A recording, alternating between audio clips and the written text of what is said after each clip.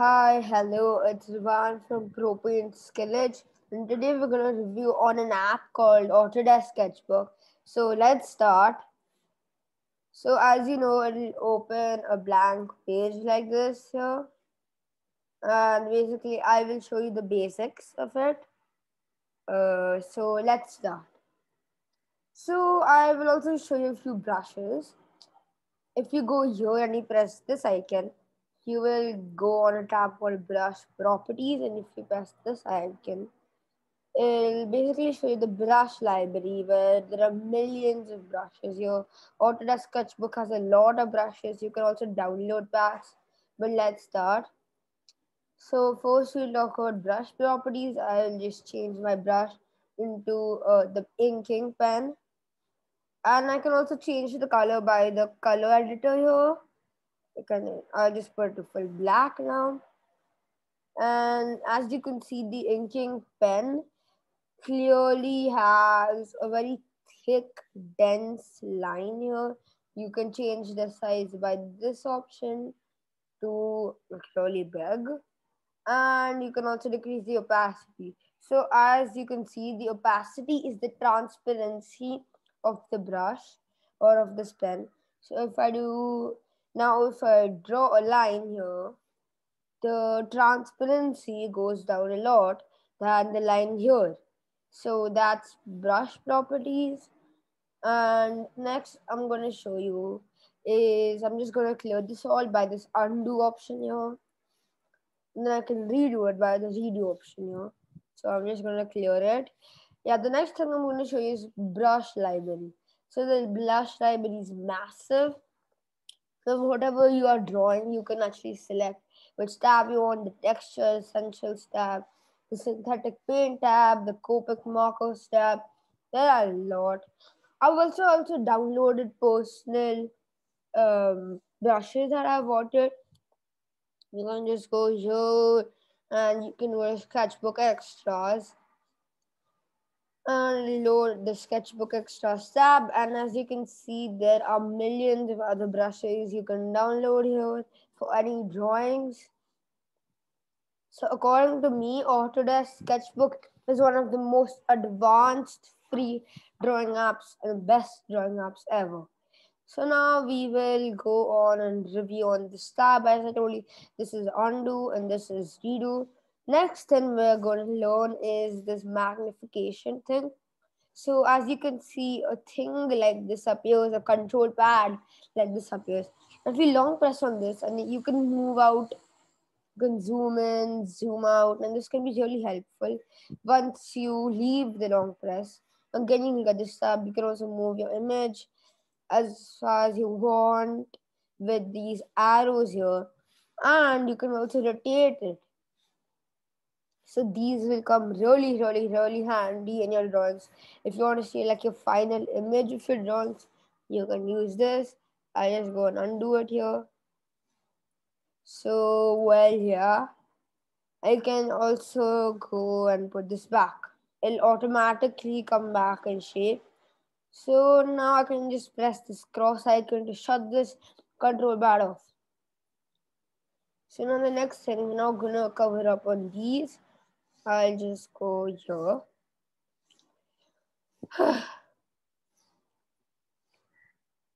so the next thing we will learn is this tool.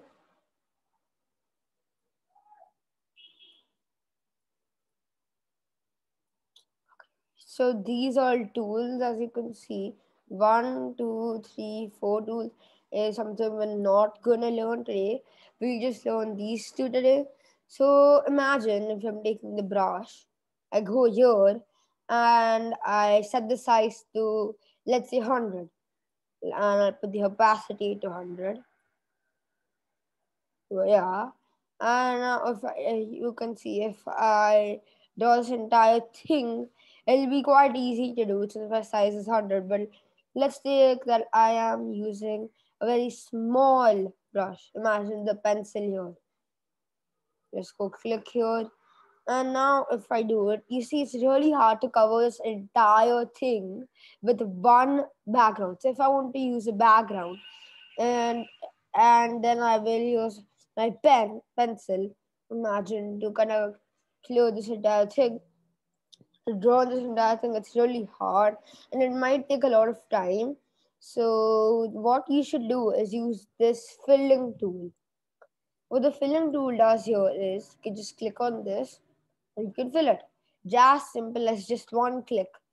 And it's really easy. You can also choose a linear fill here. You can rotate it by whatever direction you want.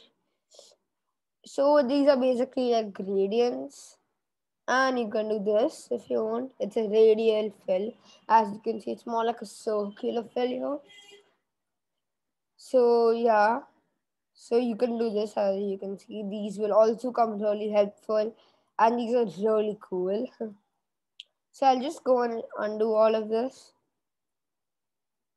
and uh, also go back to my erasing tool here which as you can make out from its name is a erasing tool. And then I can erase this entire thing. I just move this aside. And yeah, that's the reason tool too. Next thing I will show you all is this text tool. I'll just go here and type Pro Paint. Not paint, of course. You can select whatever fonts you want. I'll just take this vector nui to uh, like show y'all. And now if I press, like you could also select which color you want. I'll just put it full red. Again, I'll go back to there, put this full red. So it'll become red as you can see now. I'll go hit this OK button and as you can see this uh, the text comes here and a new control pad comes here you can also rotate this is this is this control pad is made for the text you can rotate this text you can also increase the font size or the scale you can make it very wide and like little wide then you can move it wherever you want. So this will come really handy. And yeah, for now, I'll just shut this and undo everything. Now, the next thing I'll show you all is the scaling tool. I'll just go press here and so, well, Sakali shut this. Even if I know, like very skilled artists, they can draw a perfect straight line. But as you all know, me and other artists which can't draw that good lines, uh, usually end up doing a very curvy line as here. So that's where the scaling tool comes. Derived by its name, it literally acts like a scale to your drawing and it will be also helpful. So I will just go.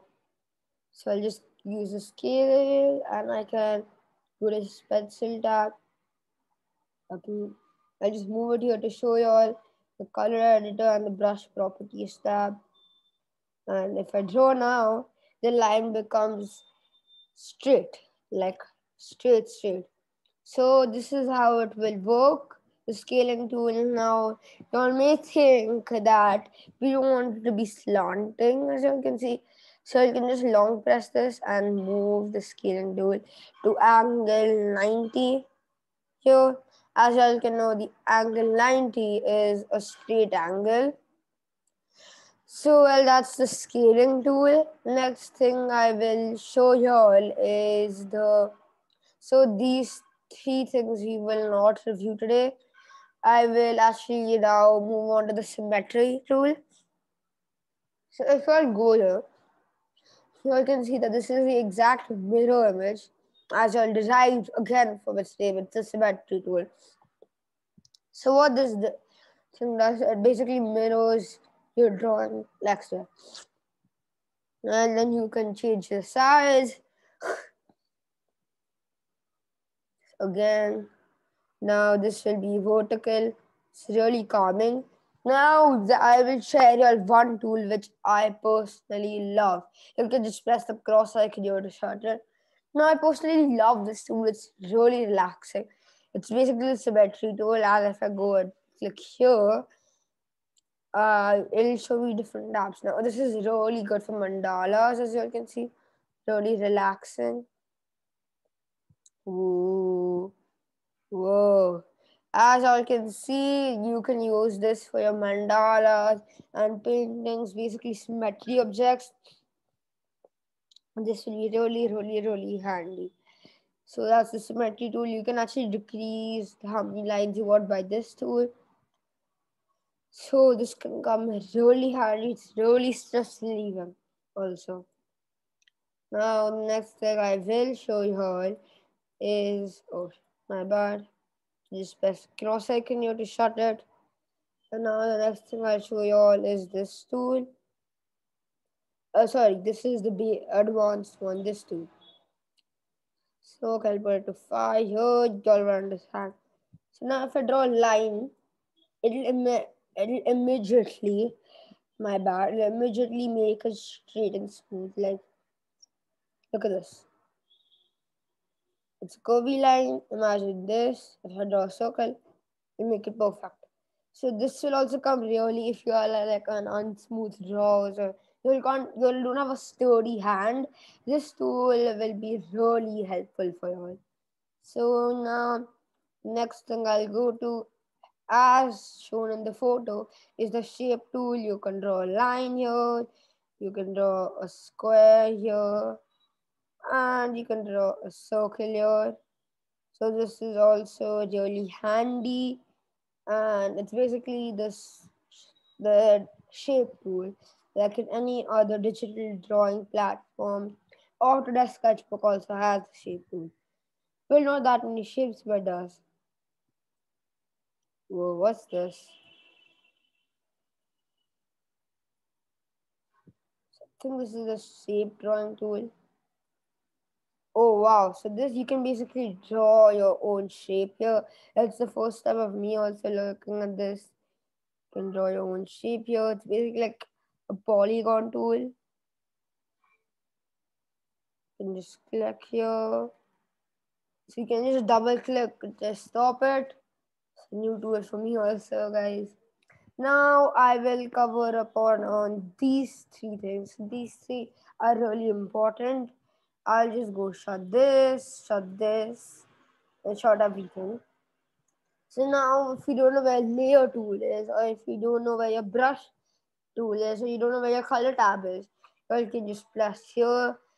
This one is for layers, this one is for brush, and this one is for the color tab. This one's also for the Copic marker tool here, the Copic library. This is really advanced, so I will not teach all this today. So now the next thing we will do is go ahead and learn this thing. So let's start with the brush. I'll just shut all of these. Let's start with the brush, a palette, brush, library, if you know. So this can show all the brush properties and the brush library. Uh, as covered in the starting of the video, this is really helpful.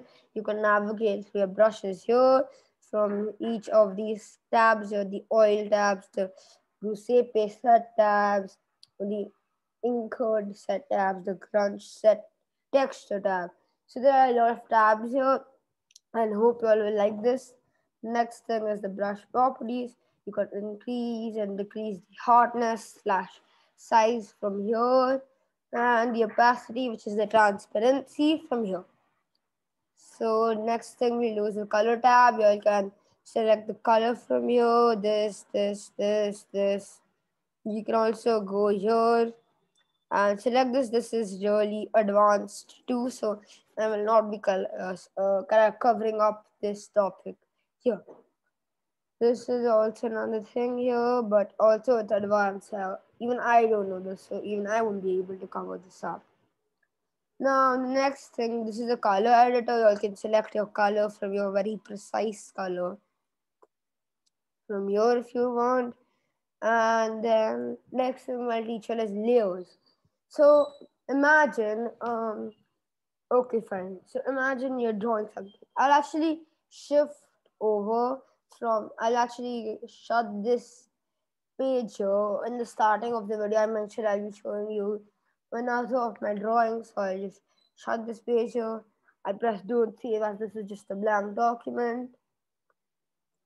And then I will show you all one of my drawings. So one sec, it's opening. So this is one of my drawings I have made. I'll just open it with the sketchbook tab.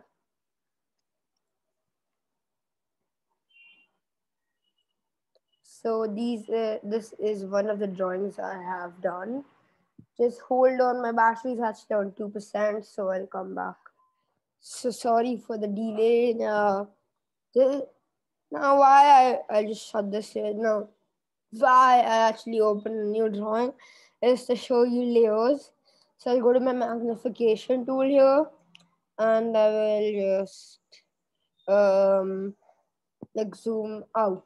So I'll just press the cross icon to shut this. Now I want to show you the importance of layers.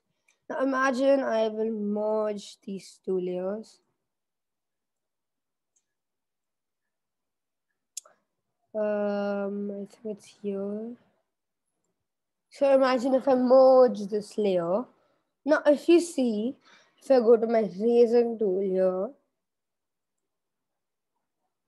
this erasing tool, my bad, the raising tool here, and if I erase, I only, imagine if I only want to erase this N here, not the background, and I try to raise this, the entire background also goes with this. So that's when the layer tool comes. You can just, I'll just go back here, and I will uh, press undo thing. And now if I just want to raise the N, I can simply, oh my bad, I'll just go to this layer and if I want to raise the N again, I can just raise it without the background being raised. So how this happens is that I've created two layers, one layer with the text pro paint and the other layer with the background. So if I have this layer, this layer is the background and now if I hide this layer and show this layer, this layer is a pro paint text. So now Autodesk Sketchbook will, and first of all, you'll have to click this layer and then only do it. So now if I raise this Autodesk Sketchbook will think that I'm only raising this layer, not the background layer. So that's how layers work. They're also really handy if you don't raise your background if you only want to raise one particular object in a layer, then layers are handy. Well, guys, that's it. So there will also be a part two when I will review on an app called Tayasui Sketches Pro.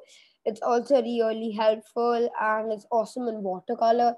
So wait up and bye for now. Hey guys, hope you all enjoyed this video. Make sure to subscribe, like this video and turn on post notifications to get notified when we upload something new and we will see you all in our next video.